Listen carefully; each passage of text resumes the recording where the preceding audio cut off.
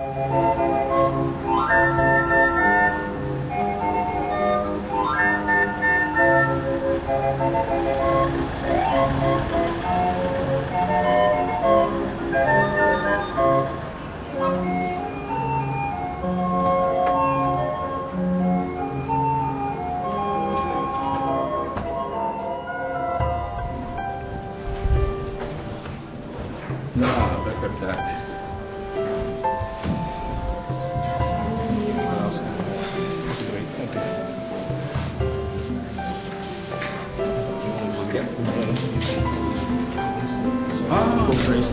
Cooperation, development, cooperation, Mr. what a pleased to meet you. Pleased to meet you. What a It's pleasure. an it's an Thank you. Thank you so much. Professor Thank you. You're right. Wonderful.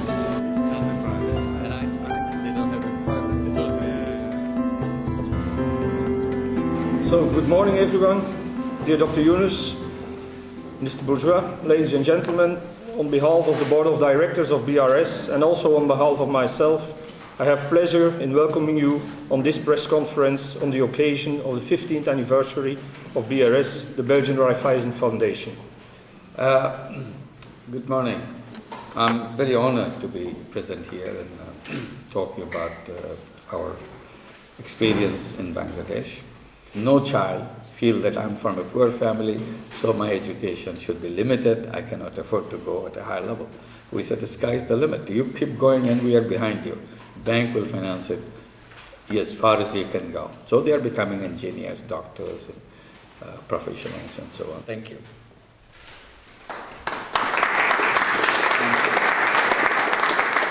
I see lots of uh, commonalities between efforts that we did in Bangladesh and efforts Raiffeisen did. The circumstances were exactly the similar. Uh, people needed money, but the financial institutions will never come to them. They are not uh, somebody that uh, the, the commercial organizations or banks found that reliable to lend money. So he initiated his own, own program to uh, organize savings, lend money to the poor people, and so on. Uh, and our efforts are the same. There are lots of people who cannot uh, go to the conventional banks to receive financial services. So we tried to find a methodology, how to connect them with the financial system. So in the process, we that methodology was refined and improved when we created our own bank called Grameen Bank. And today it lends money to over seven and a half million borrowers in Bangladesh. 97% of them are women. And the bank is owned by the borrowers. Mijn ervaring is, mijn overtuiging is dat dit de beste manier is om het zuiden te helpen zorgen dat ze het heft zelf in handen kunnen nemen, dat ze eigen welvaart op kunnen bouwen.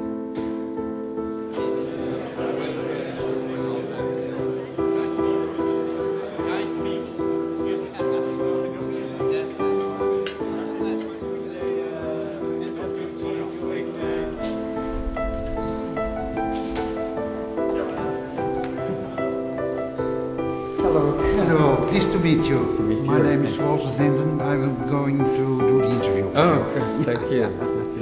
We thank you.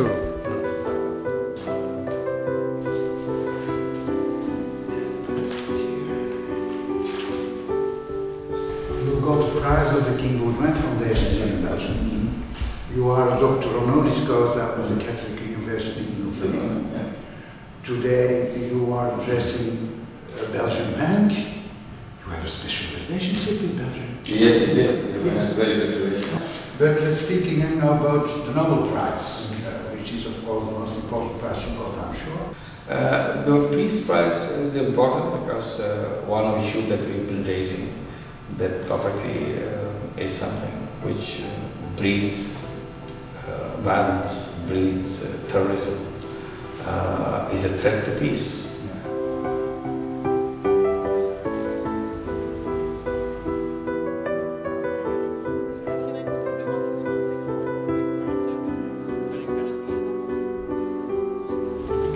You to meet again. you. It's And that wonderful. you come from Yeah, uh, Bangladesh, all the It's way, yeah. Thank you, I thank you, you. for the first time. Oh. Oh, four years ago I, I know. in you were at your Fabiola. home. That's right. Oh.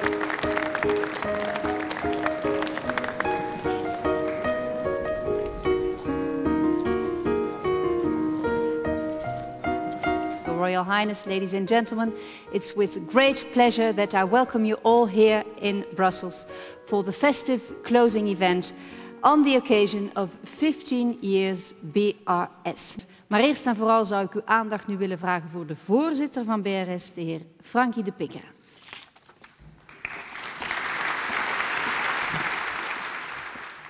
Mevrouw, dames en heren, in naam van de Raad van Bestuur van BRS en ook in mijn persoonlijke naam heet ik u allen zeer hartelijk welkom op deze slotviering van 15 jaar BRS, de Belgische Raiffeisen Stichting. Onze geschiedenis begint niet 15 jaar geleden, maar eigenlijk in 1892. Bij ons op het platteland had de financiële sector geen vertrouwen in de kleine landbouwers. Dankzij de coöperatie slaagden de mensen erin om hun lot in eigen handen te nemen en dit met succes. De Raffijzenkassen zorgden ervoor dat het spaargeld uit de lokale gemeenschappen in diezelfde gemeenschappen werden geïnvesteerd. Het principe van onderlinge solidariteit bezorgde, zorgde ervoor dat arme mensen toch kredietwaardig werden.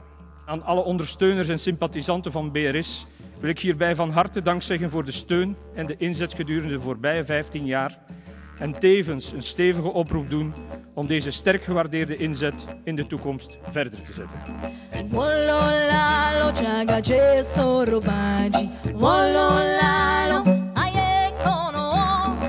Vooral hebben wij gezocht naar mensen.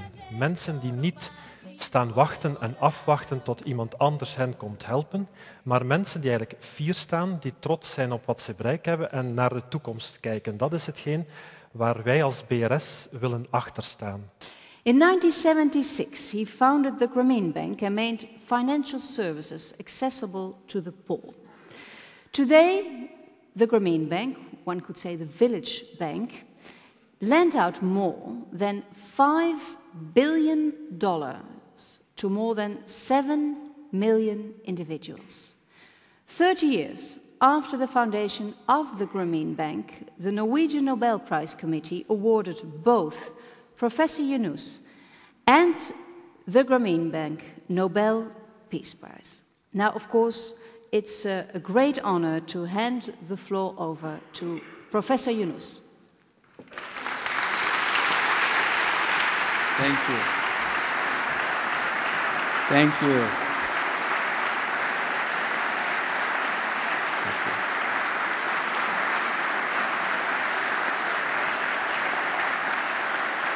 Thank you.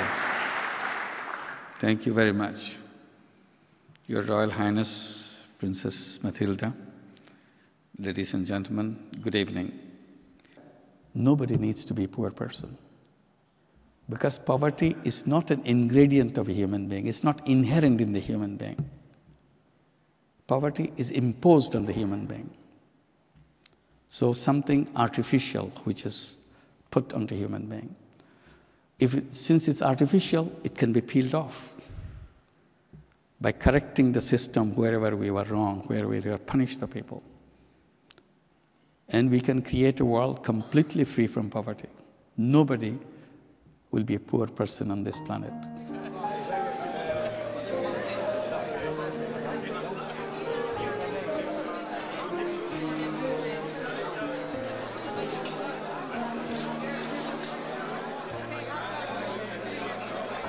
I, loved it. Uh, I found that uh, Yunus gave, was very inspiring in his, um, in his speech. Yeah, I, I loved it. Het is uh, bewonderenswaardig dat een mens dus van, uh, van Bangladesh zo uh, een moed heeft voor zijn verhaal te vertellen en dat hij waarschijnlijk wel veel hindernissen zal ondervonden hebben in zijn leven, maar toch dat hij de kracht heeft en de moed en blijven in geloven in, in het goede. Echt, is een, echt, uh, zou er zo meer moeten zijn in, in Europa zelfs. Zeer inspirerende man. Iemand die eigenlijk aantoont dat je als individu ook de wereld kan veranderen.